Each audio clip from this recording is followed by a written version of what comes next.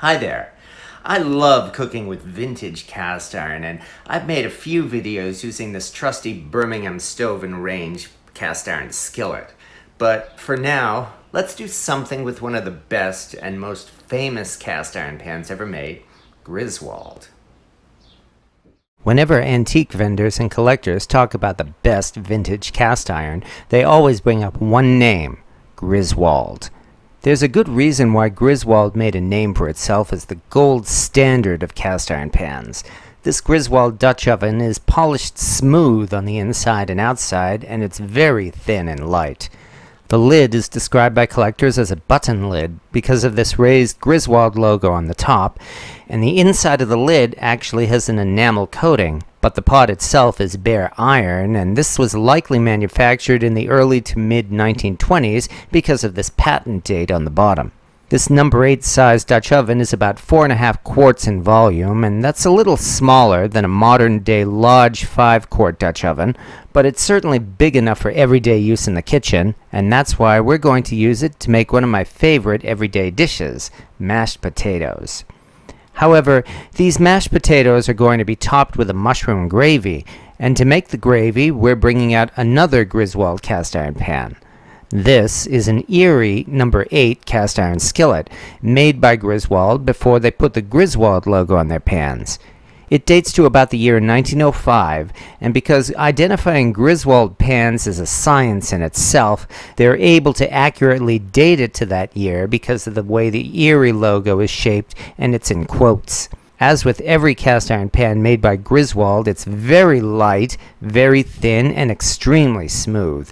So making gravy with this Erie skillet is going to be a lot of fun. To make the best mashed potatoes, be sure to use russet potatoes, which simply can't be beat when it comes to mashing. All we do is cut our potatoes in half and arrange them in the Griswold Dutch oven, and be sure to use plenty of salt in the water.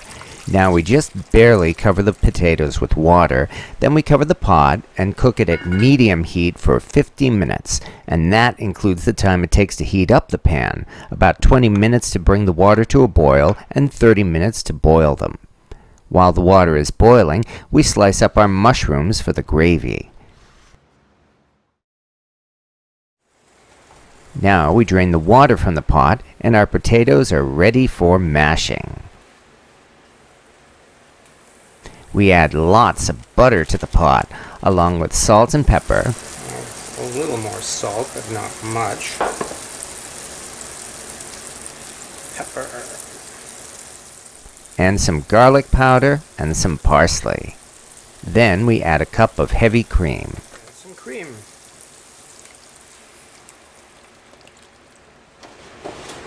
Time to mash away, mash away, mash away all.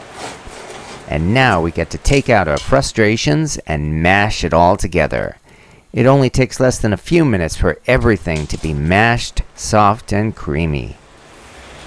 And here we are. And now for the gravy.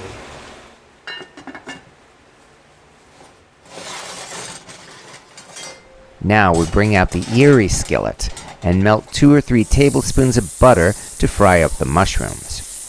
To this, we add some minced garlic. And that's really all we need, though you can add your own seasonings if you want. It takes about 5 minutes of frying these mushrooms in butter before they're soft, delicious, and ready for the gravy.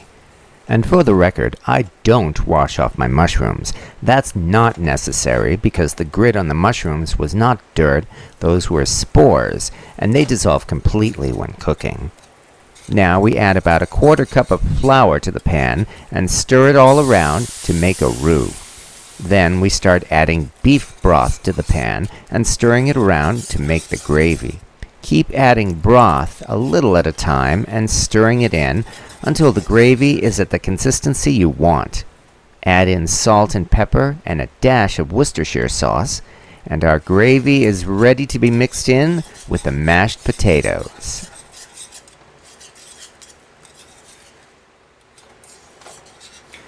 Don't look now, but we have gravy.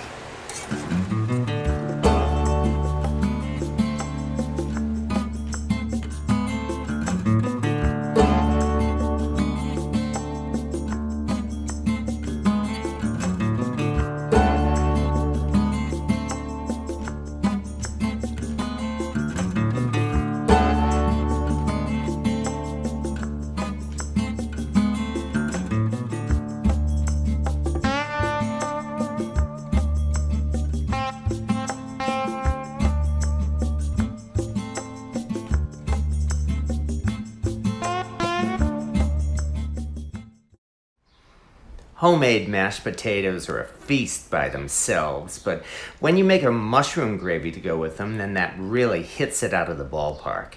Any excuse to cook with a Griswold is worth it, and there's nothing better than a vintage cast iron Dutch oven to cook just about everything.